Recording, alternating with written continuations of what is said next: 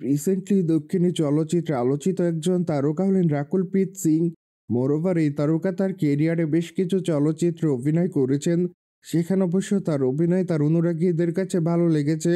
আর এই জন্য অবশ্য অল্প সময়ে দর্শকদের মাঝে আলোচনায়। অন্যদিকে, এই তারকাকে সর্বদাই সোশ্যাল মিডিয়ায় সক্রিয় দেখা যায়। কিন্তু সেখানে এই তারকা তার প্রতিদিনের আপডেট শেয়ার করেন। মোরোবার মাঝে মাঝে লাস্যময় রূপে ক্যামেরার সামনে ধরা দেয়। ঠিক এই জন্য অবশ্য সমালোচনার শিকার হয়। কিন্তু যাক সে সকল সমালোচনাকে রাকুল প্রীত সেভাবে গ্রহণ করে না, যার জন্য দক্ষিণী সুন্দরী তার ইচ্ছামতো ছবি সোশ্যাল মিডিয়ায় শেয়ার করেন। অন্যদিকে বর্তমানে এই তারকা তার ইনস্টাগ্রাম হ্যান্ডেলে বেশ কিছু ছবি আপলোড করেছেন।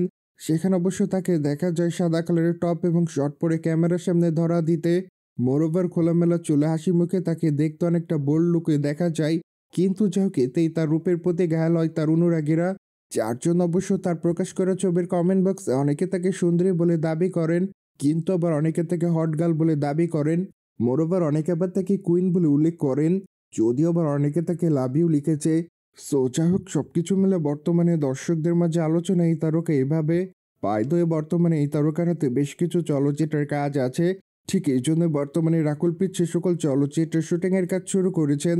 যদিও সাত্রিওয়ালি চলচ্চিত্রে নায়িকাকে সর্বশেষ অভিনয় করতে দেখা যায় মোরোভার সেখানে অবশ্য তার অভিনয় তার অনুরাগীদের কাছে ভালো লেগেছে।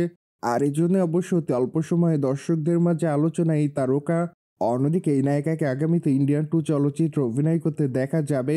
মোরোভার মাত্র কয়েকদিন আগে চলচ্চিত্রের ডাইভিং এর কাজ সম্পূর্ণভাবে শেষ করা হয়। সুতরাং যাক, জেনে তো নিলেন। সাউথ ইন্ডিয়ান তারকা রাকুল পিত বর্তমানে ক্যামেরার সামনে বোল্ড আকারে ধরা দেয়। মোরোভার, এই বিষয়টি নিয়ে কোনো মতামত থাকলে কমেন্ট বক্সে জানাতে ভুলবেন না। সেই সাথে চ্যানেলটিকে সাবস্ক্রাইব করে আমাদের সাথেই থাকুন আপকামিং আপডেট জানার জন্য।